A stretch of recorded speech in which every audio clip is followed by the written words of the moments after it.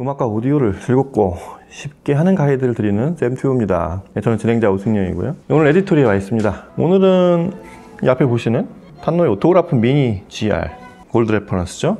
그리고 이 LEAK 특별한 또 처음 보는 오늘 LEAK의 Stereo 130, 그 다음에 130 CDT 두 제품 그리고 TEAC의 턴테이블 이 시스템으로 또 Tannoy Autograph Mini GR, Mini GR을 중심으로 이 사운드를 한번 들어보는 시간을 마련했습니다. Tannoy Autograph Mini GR은 지난 시간에도 얘기를 드렸죠. 음, 굉장히 소위 그 우리 너무 흔하게 표현하지만 레트로, 레트로의 아주 그냥 전형적인 그런 샘플이 되는 대표적인 제품이고요. 근데 이 LEAK도 LEAK 마찬가지예요.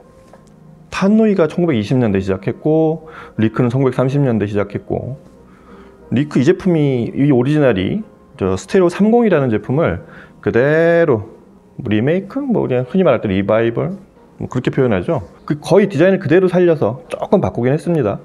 그래서 현대 틀에 맞게 이렇게 새로 재발매한 게 130이고요. 현 시점에 맞는 여러 장르나 스피커에 맞게 그렇게 변경이 돼 있고 그 다음에 뭐 이건 CD 트랜스포트죠. 트랜스포트를 새로 또 같은 디자인으로 이렇게 일체화시킨 오토그라프 미니가 이제 원형이 이 둘의 시대도 비슷해요. 오토그라프가 50년대 제품이었다 그러면 어, 이 리크의 오리지널 이 스테레오 30은 60년대 제품이에요. 그 당시에 이렇게 생각을 해보면 60년대, 5, 60년대 그러니까 리크 이 앰프가 나왔을 때만 해도 영국의 가정 뭐 다른 세계 전 세계도 마찬가지지만 영국의 가정에서 오디오를 좀 듣는다 오디오도 귀했던 시절이지만 그러면 아마 그 시점에는 제가 보기엔 쿼드, 탄노이 거의 이런 스피커들밖에 없었을 거예요. 그리고 앰프는 역시 또 쿼드, 리크 거의 이런 브랜드들밖에 없던 시점에 만든 제품들을 현 시점에 맞게 다시 재발매를 했다는 거. 그 디자인도 그대로 거의 그대로 살렸다는 게 그게 놀랍습니다. 제가 느낌이 이 시스템을 보면 어떤 느낌이 드냐면 우리로 치면은 한옥이에요. 한옥. 우리 한옥을 안을 들어가 보면 겉은 한옥인데 들어가 보면 현대식 이 주방과 아일랜드 식탁 그다음에 기타 안에 인테리어를 갖춘 모든 현대 시설이 다 들어가 있는 뭐 세탁기부터 아마 건조대 다 있고 TV 냉장고 다 있는 이런 그런 플랫폼 내에 그런 시스템을 갖춘 그리고 겉모습은 그대로 한옥은 한옥의 모습을 갖춘 그런 어떤 가족 가정 그런 집 이런 느낌이라고 하면은 좀 비슷한 예가 될까요? 디자인 내에서 들려지는 소리들은 최근의 장르 뭐 힙합, 랩, 뭐 펑크, 락 이런 거 다 들을 수 있고 뭐 클래식 물론이고요. 그런 시스템입니다. 그러니까 최소한 한 5, 60년을 쭉 이렇게 history를 가지고 그런 history를 가진 제품들이 현 시점에 맞게 재발매된 그런 제품들이 갖는 의미가 엊그저께 막 새로 막 엄청나게 비싸게 만든 제품들하고 또 다르죠 느낌이 그 시스템만의 또 특징과 장점이 있을 거 아니에요 그런 시스템이라고 보시면 되겠습니다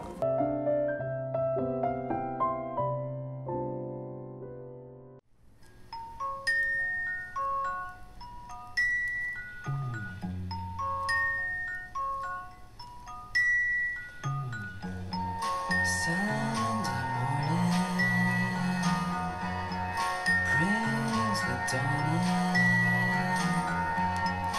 in. It's just a restless feeling by my side.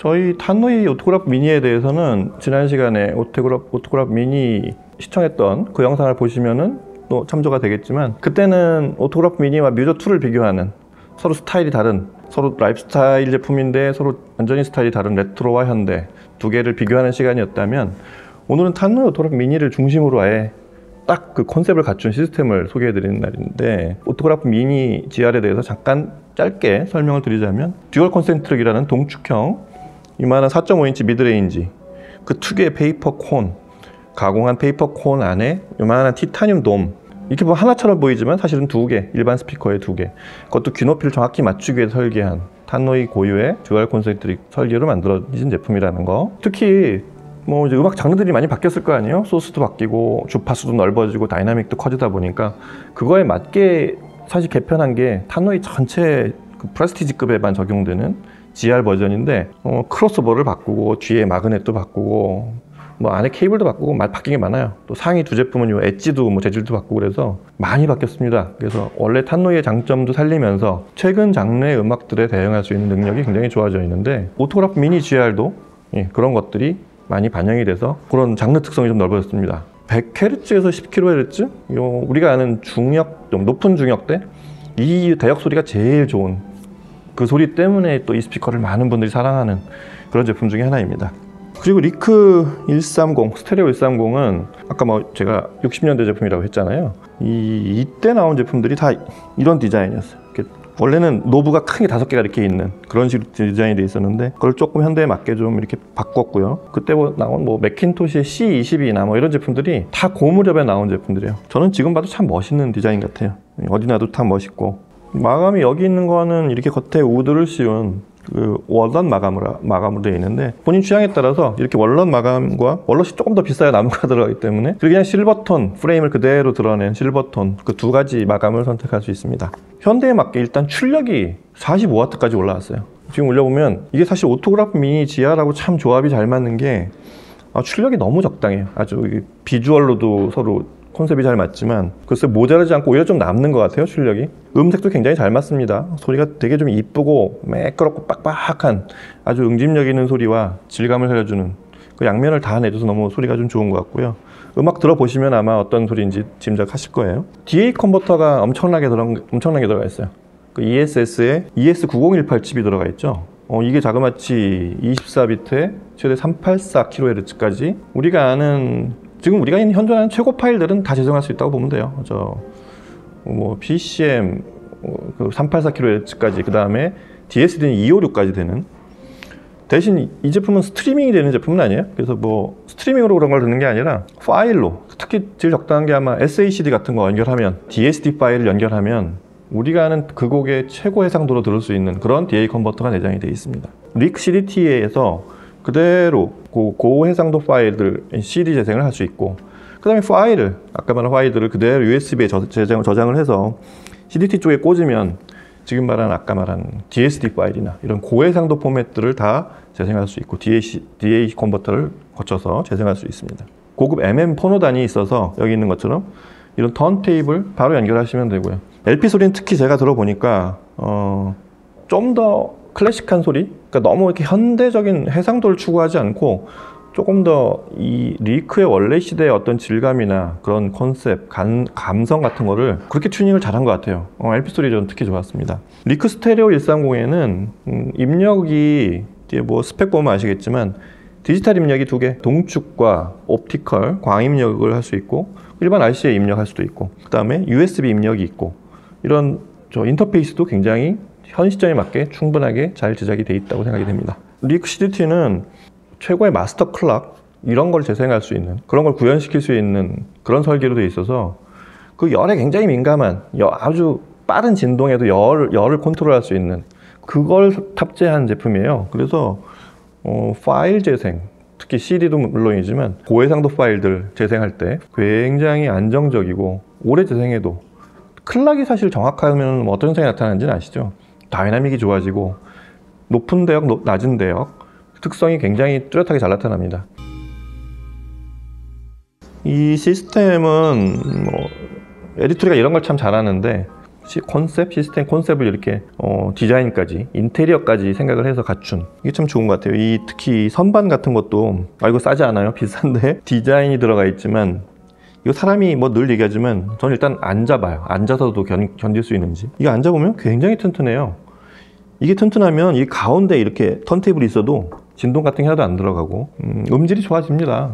그 튼튼한 음질이 그렇게 좋아져 그러는데 턴테이블 뭐또 CD transport 앰프도 마찬가지예요. 그 아주 진동에 민감한 그런 기기들을 이렇게 진동으로부터 해방시켜 줄수록 원래 음질이 정확하게 나와요. 어떨 땐 굉장히 차이가 많습니다. 그래서 이 전체 비주얼을 보면 이 전부 다 나무 톤으로 다 돼 있죠. 음, 굉장히 멋있어요. 턴테이블까지.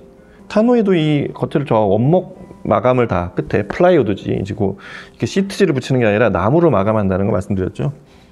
오리지널 큰 제품들은 위를 다 나무로 다 붙입니다. 이것도 지금 나무를 써서 그대로 만들었고요. 그래서 이 온통 나무 아주 우리가 뭐 보고만 있어도 좀 피곤이 덜해지고 하루에 피로가 풀리고 그리고 거기서 음악이 나오면 좋은 이게 딱 골라놔도 그렇게 고르기 힘든 그런 또 시스템 패키지인 것 같아요. 뭐 장사하려고 이렇게 만들어 놨다고 하실 수도 있지만 골라놓으면 이렇게 고르기가 쉽지 않습니다. 음, 가격대도 그렇고 소리까지 맞춰놓은 딱 시스템이라는 거. 그래서 항상 제가 얘기하지만 이거 그대로 통째로 가져가면 아 뭐 재미로 여러 가지 골라보고 시행착오를 겪은 후에 아 그게 제일 잘 맞춘 거였구나 그 경험 많은 사람들이 많이 맞춰놓은 거구나 제대로 이런 생각이 드실 거예요. 음, 지금 시스템이 딱 그렇다고 보시면 될 것 같습니다. 탄노이 오토그래프 미니 GR로 보면 두 번째 시간이었죠. 그 오토그래프 미니 GR을 중심으로 한 리크 특별히 어, 아주 멋진 리크 앰프와 CD transport 그 다음에 턴테이블까지 되어 있는 이런 시스템 패키지 얘기를 해드렸습니다. 뭐 늘 얘기하지만 와서 들어보는 게 제일 중요해요. 그러면 뭐 저는 한 중간 단계까지 아 이 방향을 얘기하는구나 저 사람이 어, 이런 소리겠구나라는 거를 가이드를 드리는 사람이고 어, 실제 체험은 그 나머지 부분은 와서 직접 들으셔야 돼요. 그래야 아 저 사람 말이 이 얘기였구나라고 이제 좀 공조를 하거나 에이 좀 나랑 생각이 다른데라든가 하여튼 와서 직접 들어보셔야 결론을 내릴 수 있습니다. 재미삼아 한번 뒷짐지고 슬슬 와보실 수 있는 공간이니까 와서 한번 꼭 들어보시기 바랍니다. 오늘은 여기서 마치겠습니다. 감사합니다.